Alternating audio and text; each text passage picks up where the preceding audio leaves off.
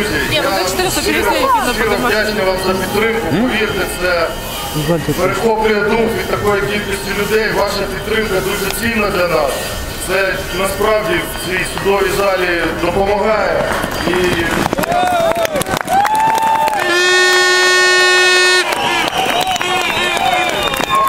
вас кожного гарно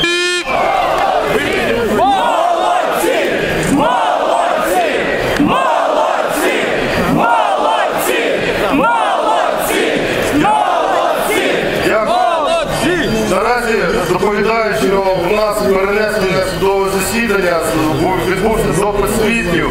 Е, Хочу вам повідомити, що завдяки вам е, зовсім змінилось відношення всієї системи до нас, тому що е, до сьогоднішнього дня це по нам йшов як каток асфальтний. Жодні там покази свідків потерпіли, що це не ми, що звинувачення абсолютно надумані висослені з пальця не приймали до уваги.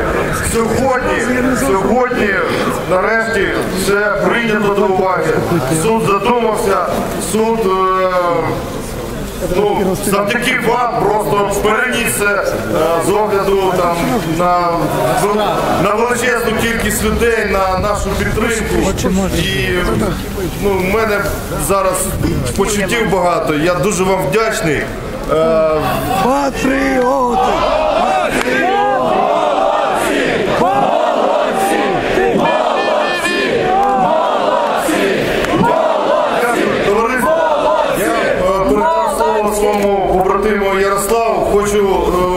ще раз подякую. Я розумію, що холодно тут стояти.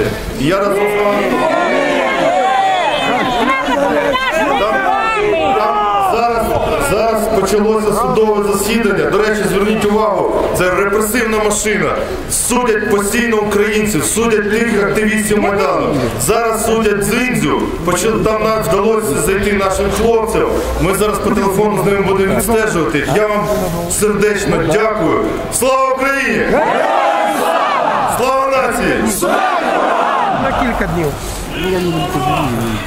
Слава Україні! Трохи нагадаю про нашу боротьбу саме Київської свободи і Всеукраїнського об'єднання загалом. Ще коли було 18 травня, ми вже виступили проти тітушок, яких влада найняла. І чільник столичної міліції, е, верніше всієї міліції дивився на це побоїще, коли били мирних громадян, коли били журналістів з криші готелю Інтерконтиненталь. Ви всі знаєте, що засудили цього покидька і подонка, тітушка е, Віталія, чи як його там звуть? Вадима, да.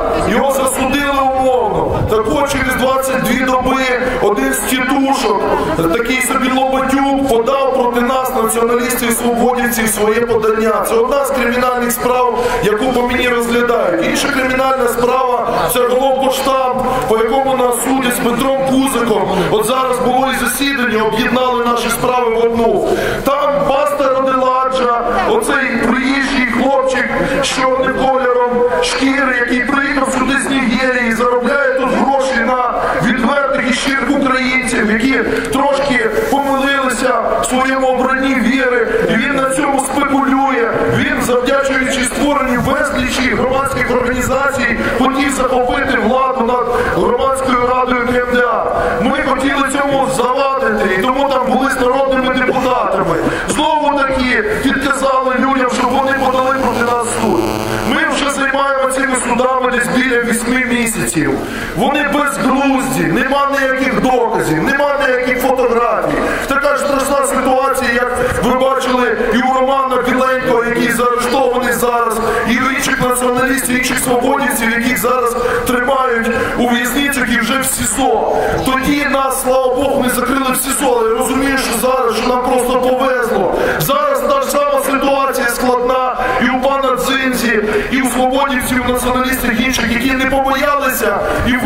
одразу на вулицю, і не сиділи перед комп'ютером, а одразу вийшли боротися і пролити, може, і свою кров, віддати свій час, гроші, свою енергію, свою силу, своє майбутнє заради наших